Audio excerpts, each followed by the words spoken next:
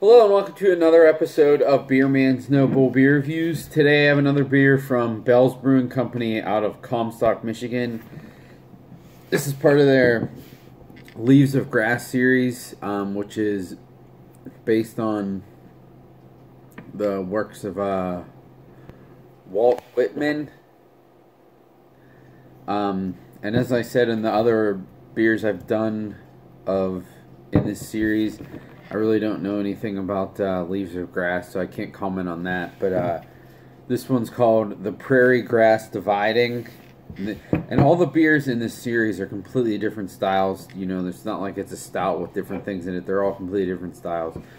Um, and this one is a uh, Gose with plums. Um, it is 4.5 ABV. I don't think I've had a Gose from Bell, so that's interesting. Um, but uh, I just had the smoked porter in this series, and it was really, really good. So I'm hoping that this uh, this one follows suit with that. We'll see.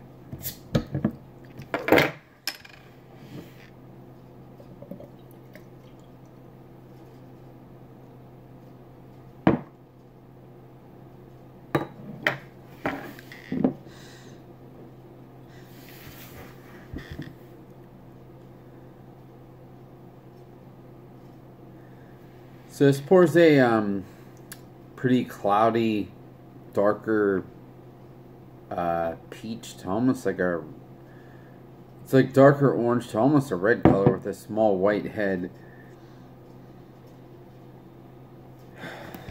That smells nice. Um,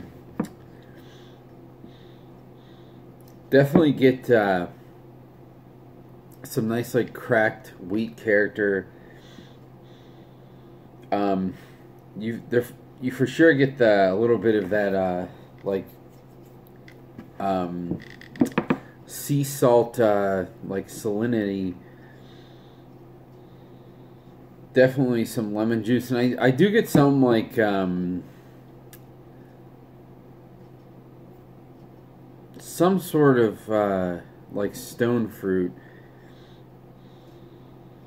it almost smells like apricot, but I obviously I, I know it's plum, but it almost smells like apricot. It's interesting.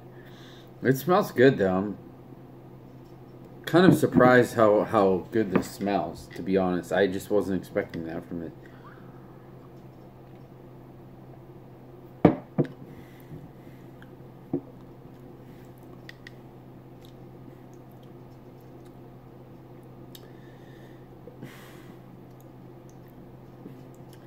That's good. Um, it's not very tart. It's actually less tart than I was expecting.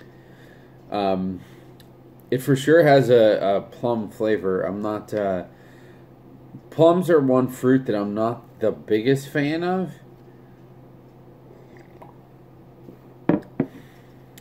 Um, but I do get it a lot. Um, there's a little bit of like a candi sugar note. Um, and some of that uh, weedy graininess too. But definitely none of that. Uh, I know sometimes like kettle sour type things have that uh, butyric acid. There's none of that at all. This doesn't have that like that cereal taste either. The grain character is definitely very clean. Um,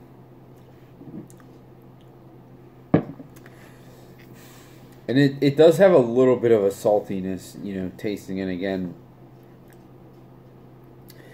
But I there's not too too much to it, and I, I I'm just not the biggest fan of plum. Um,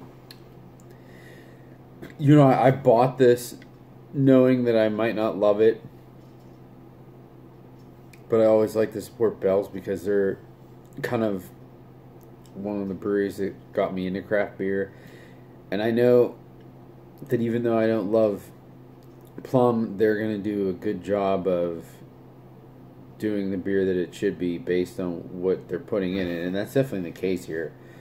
Um, I think this is a really good classic Gose with, without being like super tart because most of them traditional ones are not that tart.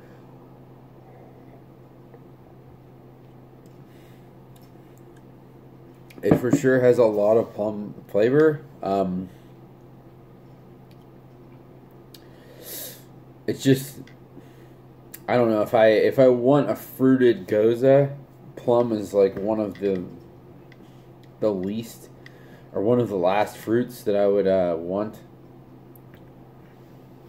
So it's kind of one of those things that I, you know, I knew going in that I probably wasn't going to call this a buy.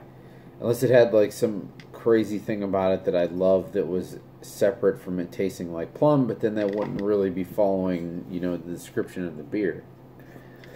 Um, so yeah, I don't, I don't know there's too much more to say about it because it, it is pretty straightforward, but you know, for this type of beer, that that's perfectly acceptable. It should be. It's supposed to be a nice, refreshing, slightly salty, little bit of tart wheat beer with plum flavor, and it is absolutely all of that. So if you like plum, this is this should be a buy for you, especially this this bottle pros like two dollars I think in the bottle shop. I mean, all, all Bell's products are insanely cheap for their quality. Um, for me personally, I'm just gonna give this a drink. I don't think I wouldn't buy it again, but that's just because I don't love plum flavored stuff.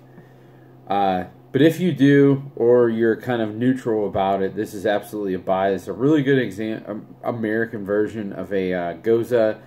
It's not just like a shitty kettle sour that they threw salt in. This is actually like very well crafted. Um, I think the plum flavor is is prom is very prominent, but not like overdone either. Uh, so I, to be honest, I don't know that they really could have done a better job than they did with this. It's just not my favorite thing. So I wouldn't buy it again, but I, I would say for anyone who likes plum or a good American made Gose, you should definitely buy this. Um, but I think that's all I got on this one. Please like, comment, subscribe. Let me know what you think, and I look forward to doing the next one. Thanks.